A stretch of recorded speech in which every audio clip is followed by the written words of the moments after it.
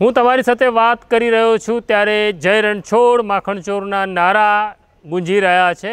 અમદાવાદ સહિત ગુજરાતમાં એકસો અઠ્ઠાણું સ્થળોથી રથયાત્રા પસાર થઈ રહી છે. પરંતુ ગુજરાતના એક એવા મા બાપ છે કે જેઓ આ રથયાત્રાનો દિવસ કોઈ દિવસ નહીં ભૂલે, કારણ કે તેમને રણછોડરાયે પ્રસાદમાં પોતાના દીકરા અને પુત્ર વધુને પાછી અપાવી છે. ઈરાનના તહેરાનની અંદર બંધક બનાવવામાં આવેલા એક દંપતીને અપહરણકર્તાએ મુક્ત કર્યું છે અને તેઓ બહુ જલ્દી ભારત પાછા ફરશે તેની વાત કરવી છે.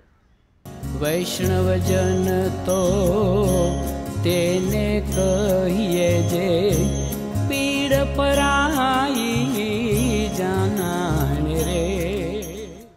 નમસ્કાર નવજીવન ન્યૂઝમાં તમારું સ્વાગત છે અને હું છું પ્રશાંત દયાળ. વાત કરવી છે તહેરાનમાં બંધક બનાવવામાં આવેલા પંકજ અને નિશિની. અમે અગાઉ પણ કહ્યું હતું કે આ કબૂતરબાજીના ચક્કરમાં ના ફસાશો.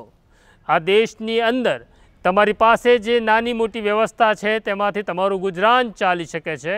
પરંતુ અનેકોને ઈચ્છા છે કે વિદેશમાં જઈ ડોલર કમાવા, કરોડો કમાવા અને એ ભૂલ કેટલી ઘાતક નીવડે છે. હજી થોડા મહિના પહેલાં જ ડીંગુ ચાનો આખો એક પરિવાર સાફ થઈ ગયો અને કેટલાય વિદ્યાર્થીઓ આ પ્રકારે બરફમાં ફસાયા જેમના હાથ પગની આંગળીઓ કાપવી પડે તેવી સ્થિતિ નિર્માણ થઈ. અમે વારંવાર વિદેશમાં ગેરકાયદેસર જવા માગતા લોકોને ચેતવી રહ્યા છે કે વિદેશ ગેરકાયદેસર જશો નહીં.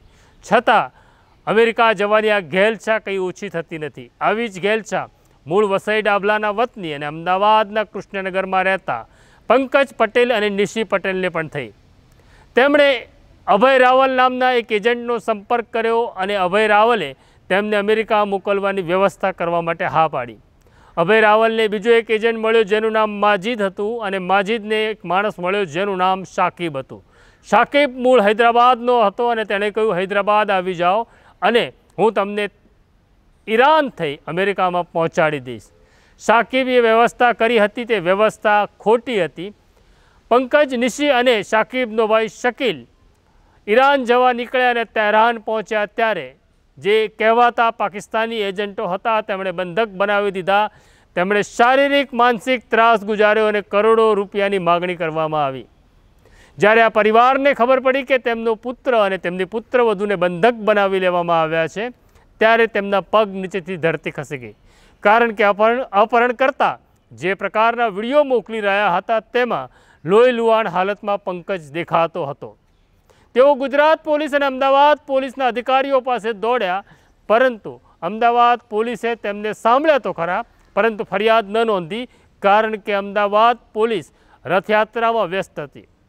અમદાવાદ પોલીસને ચિંતા એક દંપતીની નહોતી, પરંતુ ભગવાન જગન્નાથની હતી. જે જગન્નાથ જગતનો નાથ છે અને જગતને ચલાવે છે, તે પોલીસ આ જગતના નાથને બંદોબસ્ત આપવામાં વ્યસ્ત હતી. અમે ગઈકાલના વિડીયોમાં પણ કહ્યું હતું કે જ્યારે તંત્ર લાચાર થાય છે, ત્યારે મંત્ર કામ કરે છે.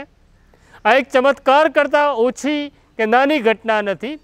તંત્રએ કેવી રીતના મદદ કરીને શું કરી તેની હજી કોઈ જાણકારી મળી રહી નથી, પરંતુ હમણાં અમને જાણકારી મળી રહી છે કે તહેરાનમાં રહેલા પંકજ અને નિશીને અપહરણકર્તાએ મુક્ત કર્યા છે.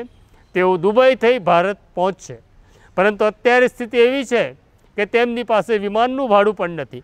તેમને કોણ મદદ કરશે? તેમને દૂતાવાસ ક્યાં સુધી લઈ આવશે? તેની જાણકારી અત્યારે અધૂરી છે. પરંતુ પંકજ અને નિશી ભારત પાછા ફરશે ત્યારે ચિત્ર સ્પષ્ટ થશે કે તેમની સાથે શું બન્યું હતું. અહીંયા બે વાત કહેવી છે કે જે લોકો અમેરિકા જવા માગે છે અને ખાસ કરી ગેરકાયદેસર રીતે જવા માગે છે, તેમના માટે આ લાલ બત્તી સમાન છે. તમારા ઘરમાંથી તમારો પતિ, તમારો ભાઈ, તમારો દીકરો કે તમારી બહેન જો જીદ કરતા હોય કે અમારે અમેરિકા ગેરકાયદેસર જવું છે, તો તેમને આ ઘટના બતાડજો. કારણ કે પંકજ અને નિશિતો કદાચ કોઈના પુણ્યના પ્રતાપે બચી ગયા અને પાછા આવ્યા. પરંતુ દરેક વ્યક્તિ આવા નસીબદાર હોતા નથી. જેઓ પોતાના વતનમાં પોતાના પ્રિયજનને મળી શકે. હવે આ મામલે ગુજરાત પોલીસ શું કરે છે તે જોવાનું રહ્યું. અપેક્ષાઓ તો બહુ ઓછી છે. છતાં સાવ નિરાશ થવા જેવું પણ નથી કારણ કે પોલીસ દળમાં કેટલાક સારા અને પ્રમાણિક અધિકારીઓ છે, તે ચોક્કસ આ દિશામાં પ્રયત્ન કરશે. ગુજરાત સરકાર પણ આ દિશામાં પ્રયત્ન કરશે અને જે લોકો આ પ્રકારે અમેરિકા જવા માગે છે, તેમને રોકવા માટેની વ્યવસ્થા પણ ગુજરાત સરકાર કરે એટલી વિનંતી છે. મને અને મારા સાથી તુષાર બસિયા અને સોનુને રજા આપશો. નમસ્કાર. વૈષ્ણવજન તો તેને કહીએ જે પીડ પરાઈ